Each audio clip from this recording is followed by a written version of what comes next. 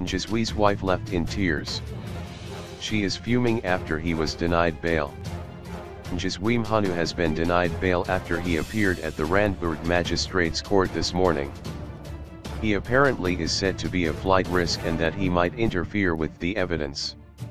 The former Ukhozi FM radio presenter is accused of inciting violence. Social media users have been up in arms after news of his bail being denied. Ngizwe handed himself over to the police on Monday after he claimed police have been threatening him. His lawyer advocate Stix Mdladla told the media there was a warrant of his arrest, he surrendered himself at the provincial headquarters, and the investigating officers, two of them, came in and showed us a warrant of arrest.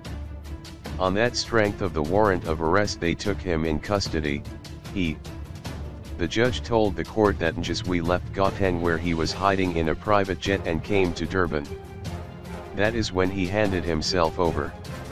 Mchunu can only apply for bail on July 28. Users on social media have been defending Ngizwe saying his arrest is unlawful as he never instructed anyone to loot. One person who is livid and beside herself is his wife Lindy Mchunu, who was left in tears after the decision was made. The interviewer asked her how does she feel now that her husband has been remanded in custody. Lindy could not even talk as the emotions overcame her but when she regained her strength, she breathed fire.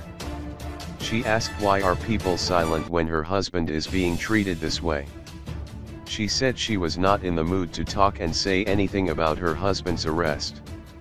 Social media users have slammed the government for arresting Ngizwe. Ngizwe Mchunu is just used as a scapegoat and we all know government is trying to convince businesses and so-called international investors that they are doing something about this.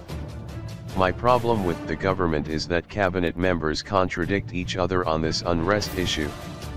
Ngizwe Mchunu and other targeted individuals are clear confirmation that we have entered a dictatorship state. We are in trouble, the WMC proxy is dealing harshly with the opponents. Siyabanai is Alan Kamoni. All signs of a dictatorship state are there, right of movement replaced with lockdown, citizen, Zuma, imprisoned without trial, freedom of expression, Ngizwe Mchunu, voicing dissatisfaction against government deemed as inciting violence, military constantly deployed while there's no war.